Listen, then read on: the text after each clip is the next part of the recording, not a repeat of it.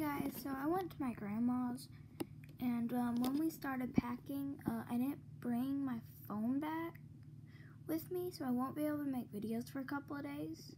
But when it gets back, I'll be making a lot more videos. Bye.